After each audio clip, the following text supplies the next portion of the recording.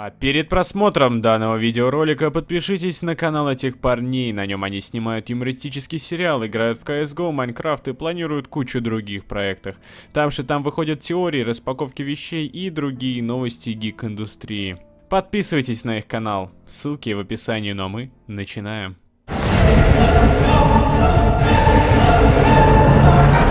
Прежде всего, хочу сказать, что в детстве я являлся большим поклонником этой истории, пересмотрел много разных сезонов. Если у кому интересно, то моим любимым был Mystic Force с его супер крутой темой на заставке. Но прошли года, и сериал стал неинтересен в связи с тем, что он был слишком глупый и уже не мог внушать так, как раньше. Сама концепция рейнджеров для меня всегда являлась таким удивительным событием, потому что имея такой потенциал на интересную историю, они просто его просрали, создав кашу для детей. За что, конечно, их винить нельзя, потому что, ну, сериал изначально создавался для детей. Но вот выходит экранизация, которая должна привнести что-то новое во франшизу и запустить новую ветку франчайза. Удалось ли? Фильм «Могучий рейнджер» 2017 года представляет из себя экранизацию именно первого сезона сериала, но более логичную, серьезную и эпичную.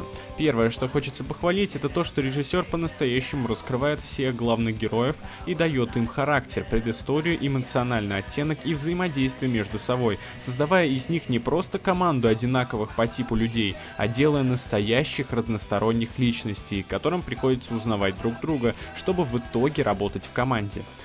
На самом деле, с помощью этого картина пытается донести смысл того, что несмотря на то, какой бы ты ни был, ты сможешь подружиться с любым человеком и сделать нечто большее, чем ты думаешь. Это замечательно.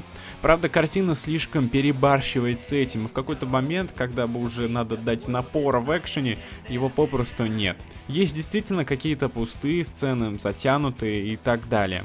Вообще, экшен показывают в фильме сначала в самом начале, потом совсем чуть-чуть в середине, где происходит по сути их тренировка, что нельзя считать за настоящий экшен, и под самый конец уже фильм выплевывает весь вот этот вот скопившийся поток на тебя.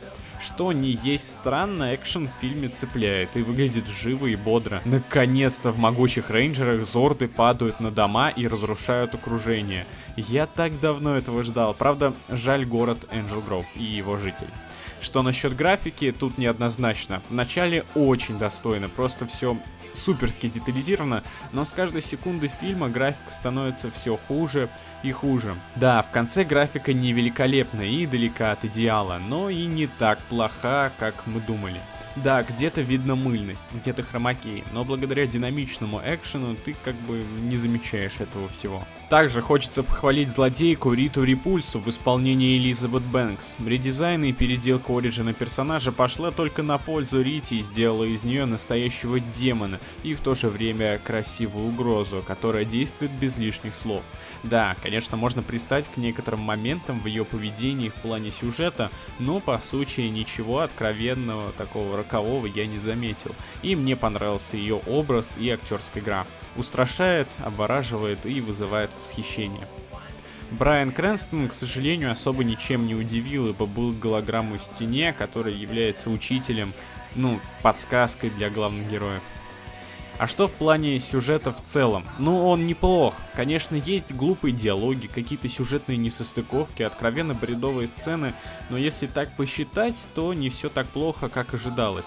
Мне кажется, что все эти моменты дань оригинальному сериалу, потому что в некоторых сценах прям ловишь себя на мысли, блин, это же было в сериале, и такой восхищаешься в душе. Зато сценаристы попытались создать по-настоящему серьезный лор вселенной, который объясняет вам все про рейнджеров, кто они, зачем они, откуда они и кто такая Рита и чего она хочет. Все это было объяснено на детальном уровне, чтобы в будущем сиквелы были логичнее и интересны. Ну, вообще, чтобы сиквелы были. Музыкальное сопровождение 50 на 50. Оригинальные композиции, которые написал Брайан Тейлор, эксперт в плане создания музыки к супергероике, и в этот раз, используя разные стили и подходы, чтобы достичь нужного саспенса, просто вытворяет очень классные композиции. А вот авторские треки иногда были вообще не в тему, их было слишком много, как в том же отряде самоубийц, но в отличие от отряда, здесь треки, ну, плохие, если честно, мне не понравились. Зато когда играет их главная тема, мурашки идут по коже. Да и вообще в фильме много фандома и пасхалок на другие франчайзы, поэтому сыщиков на сеансе вы сможете поиграть и от души поорать. Оценка 7 из 10. Поставил бы 8, да, некоторые откровенно бредовые сцены не дают этого сделать.